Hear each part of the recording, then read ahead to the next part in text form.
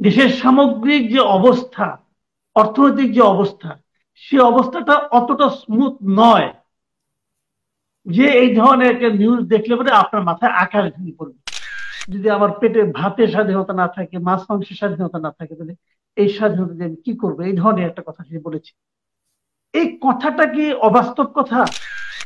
এই কথাটার বাস্তবতা কি আমাদের দেশে এই মুহূর্তে বিরাজ করে না? তারা ভুল করে ওটা দিয়েছে আমরা ওটা নিয়ে পড়ে আছি এবং বলছি তারা নাকি জাতির একদম মানে একদম ভিত্তিতে নাকি আঘাত করেছে।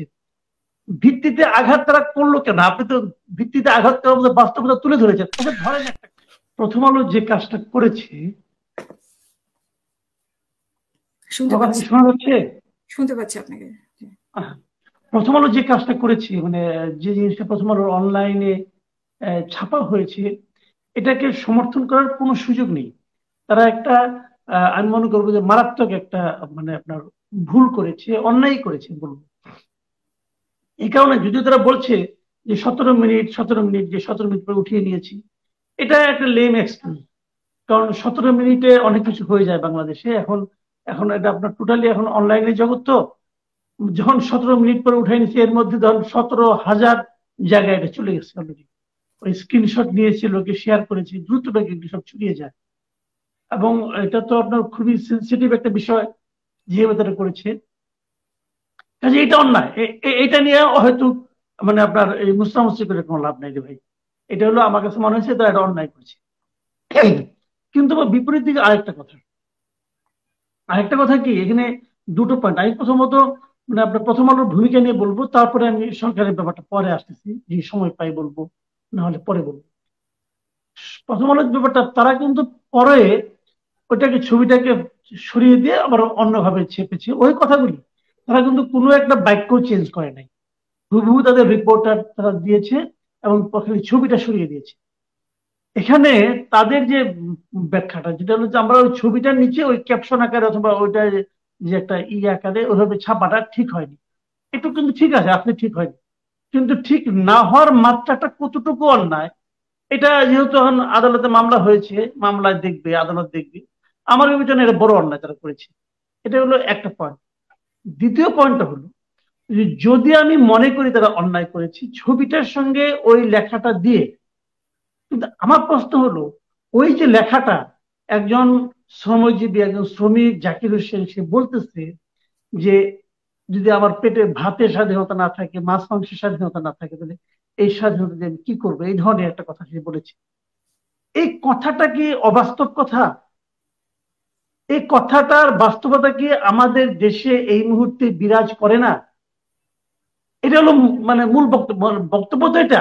বক্তব্যটার সঙ্গে ওই ছবির ছেলেটার কোন সম্পর্ক আছে কিনা আছে? এটা একটা পয়েন্ট কিন্তু যদি আমি ওই ছেলেটার নাম হলো সবুজ, আর যে কথাটা বলেছে তার নাম হলো জাকির হোসেন। জাকির হোসেনের এই কথাটা তো নিউজের মধ্যে আছে। জাকির হোসেনের এই বক্তব্যটা কি একদম ভিত্তিহীন? সেটা কিন্তু নয়। এখন তারা ভুল করে ওটা দিয়েছে, আমরা ওটা নিয়ে পড়ে আছি এবং বলছি তারা নাকি জাতির একদম মানে একদম ভিত্তিতে নাকি আঘাত করেছে। ভিত্তিতে আঘাত তারা করল কেন? আপনি তো ভিত্তিতে আঘাত করার বাস্তবতা তুলে ধরেছেন। আচ্ছা ধরেন একটা কথা। ওখানে যদি শিশুটার ছবি না থেকে, আপনি ধরেন হাইপোথেটিক্যালি আমি জাকির হোসেনের ছবিটা দিতাম, অথবা তারা যদি দিত, তাহলে কি এই বাস্তবতাটা কি কোনো চেঞ্জ হতো? এই তো হতো। কথা তো এইটাই যে মানুষের অভাবের যে একটা চিত্র তারা তুলে ধরার চেষ্টা করেছে, সেই চিত্রটা কিন্তু চেঞ্জ হয়ে যেত না। এখন আমি শিশুর প্রসঙ্গটায় আসি। শিশুটার নাম হলো সবুজ। সে ক্লাস ওয়ানে পড়ে এবং সে ওখানে স্কুল থেকে এসে ফুল বিক্রি করে। এখন আমার প্রশ্ন হলো ক্লাস ওয়ানের একটা ছেলে ফুল বিক্রি করে কেন? আপনি এই পয়েন্টে আসেন এবং এই ফুল বিক্রির টাকা দিয়ে কি সে ব্যক্তিগতভাবে চা, পান সিগারেট খায়? মদ, গাঞ্জা খায়? তা তো খায় না। এই টাকাটা নিয়ে সে বাবা মার হাতে দেয় তো বাবা মাকে যখন টাকাটা সে দেয়, তো বাবা মা জানে না আমার ছেলেটা ক্লাস ওয়ানে পড়ে। তারা কি জানে না যে ক্লাস ওয়ানে পরে আমার এই ছেলেটা স্কুল শেষ করে সে ফুল বিক্রি করে দুটো টাকা ইনকাম করে আমাকে দিচ্ছে? আমরা কি আমার সন্তানকে স্কুল থেকে আসার পর বলব যে, তুমি ফুল বিক্রি করে দুটো টাকা বাড়তি নিয়ে আসো? আমরা বলব না। উনি বলেন কেন? ওনার প্রয়োজন বলে বলেন। এই যে প্রয়োজনীয়তা বাচ্চা একটা ছেলেকে ফুল বিক্রি করতে হয় এই বাস্তবতাটাকে আপনি কীভাবে অস্বীকার করবেন? এই বাস্তবতার সঙ্গে ওই জাকির হোসেনের বক্তব্য, তার মধ্যে তো কোনো সংঘাত নেই। তার মানে দেশের সামগ্রিক যে অবস্থা, অর্থনৈতিক যে অবস্থা, সে অবস্থাটা অতটা স্মুথ নয় যে এই ধরনের একটা নিউজ দেখলে পরে আপনার মাথায় আকার ভেঙে পড়বে। কাজে কথাগুলি অসত্য নয়। এই কথাগুলির দায় সরকারকে নিতে হবে। সরকার এখন যেহেতু ছবিটা যেহেতু মিলে নাই, ছবিটা যেহেতু একটা ভুল ছবি দিয়েছে, এইটাকে নিয়ে তারা মাতামাতি শুরু করেছে। এখন ওই কথাটা আসলে বাস্তবতা সমাজে আছে কি নাই, এটা তারা ঢেকে দেওয়ার চেষ্টা করছে। তো আমার কথা হলো তো দুটোই মানতে হবে।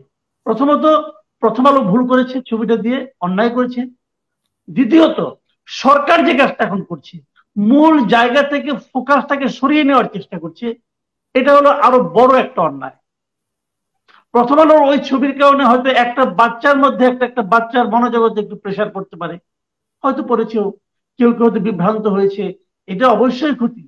কিন্তু আপনি যদি মূল ফোকাসটাকে সরিয়ে দেন, যে দেশে কোনো অভাব নেই, মানুষ একটুও কষ্টে নেই, মানুষ ঈদের মতো আনন্দে প্রতিদিন ঈদ করতেছে, এই যদি আপনার চিন্তাটা থাকে ভাই, তাহলে এটা কিন্তু আসলে পুরো জাতির সঙ্গে একটা উপহাস করা হবে আমি অভাবে আছি কি না আছি, এটা কিন্তু আমি জনাব ওবায়দুল কাদেরের কথা শুনে বুঝব না। আমি আমার ঘরে খেতে যেই টের পাই, বাজারে যেই টের পাই, সবাই বলছে, না, তেমন তো কেউ না খেয়ে থাকে না। থাকে না না খেয়ে। মিল্লাদ ভাই একজন চিকিৎসক, উনি তো জানেন, না খেয়ে থাকাটা যেমন ক্ষতিকর, সেরকম আমার শরীরে যেমন যা প্রয়োজন, আমি যদি প্রয়োজনীয় পুষ্টি আমার শরীরে দিতে না পারি সেটা কি আমার শরীরের জন্য ক্ষতিকর নয়। এটাও ক্ষতিকর। কালকে তো দেখলাম, সানেম একটা জরিপ বের করেছে। সেই জরিপে কি আছে? জরিপ পড়লে তো ভয়াবহ লাগে। এবং তখন আমি ভাবলাম যে আসলে কি মানুষ পুষ্টিহীনতায় ভুগছে তো মানুষ কি তাদের এই আপনার এই পুষ্টির ইনটেক কি এতটা কমে গেছে? আমি আমার ঘরের কথা চিন্তা করে দেখলাম। দেখেন, আমি মানে একদম যে দরিদ্রতা না, আবার আমি আমি ধনী মানুষও না। আমি খুবই নিম্ন মধ্যবিত্ত একটা ফ্যামিলির ছেলে, এবং আমি এখনও তাই আছি। আমি হিসেব করে চলি। আমি কি গত চার পাঁচ মাসে গরু মাংস কিনেছি? আমি কিন্তু কিনিনি। হ্যাঁ এখন আমার বয়স হয়েছে। এই যে আমার না কিনতে পারাটা, এটা হয়তো আমি নানাভাবে আমাকে সান্ত্বনা দিই যে এই বয়সে গরু মাংস কম খাওয়া ভালো। খাইলে আমার হার্ট অ্যাটাক হতে পারে, অমুক হতে পারে, তমুক হতে পারে।